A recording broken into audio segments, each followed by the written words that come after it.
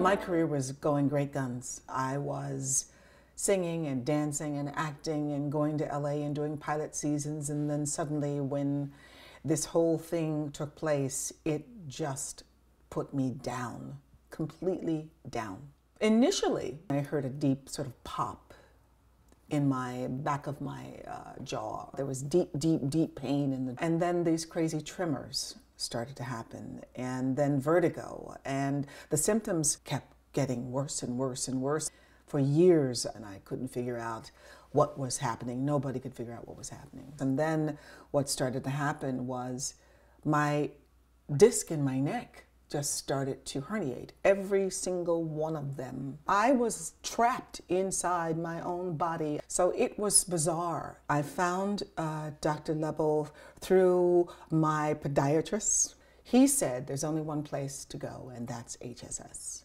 Dr. Lebl because he knew what I did for a living. Dr. Lebl wasn't talking about taking out all my disc. He wasn't talking about fusing, you know, level two through five. He was talking about doing one level. Janet has a very active lifestyle, and so it is important to take that into consideration when treating the whole patient. And so we decided together, let's go in and do this. He said, let's fix the worst one. I really trusted his bedside manner, just the calm. I've never felt that comfortable in hospital in my in all my surgeries. HSS is like family. They treat you like family. You feel special.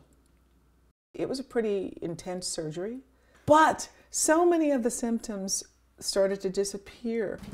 My back feels better. Your back feels better. My legs feel better. Okay. Everything feels better. Good. It made a huge difference. I have had 11 surgeries, but I've had four with HSS. Okay. Okay. Right, we'll take care of you, okay? Okay. See you in a few minutes. Thank Okay. you. The first thing that I did for Janet was she had a, a disc herniation in her lumbar spine, and it was in an area where it was impinging on a nerve root. And so through a small microsurgical uh, incision, went in in the operating room and removed that herniation. Now the second surgery that Janet had had to do with a pinched nerve in her neck or cervical spine. I performed a minimally invasive decompression of the nerve and was able to rebuild the disc such that she had a good stable disc. And then there was the femoral nerve entrapment. We've uh, got to know each other over the last few years and as these things come up, try to get her back to her uh, high level of performance. And Dr. Lebl said, You come in. I'm going to go in there. I'm going to open up that bone. I'm going to release that femoral nerve.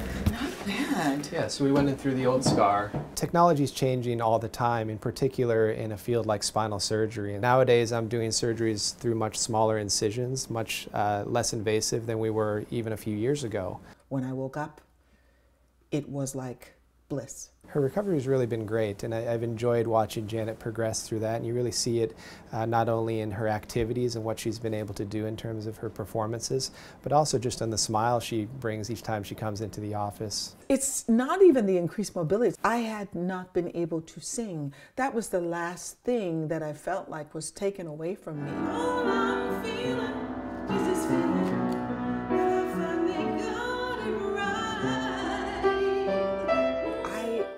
Like an artist again. It feels wonderful.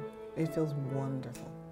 It was mind blowing because I had not sang like that in three and a half years. And yesterday, when I was working on memory and I had to sing, Touch Me, it was like, whoa.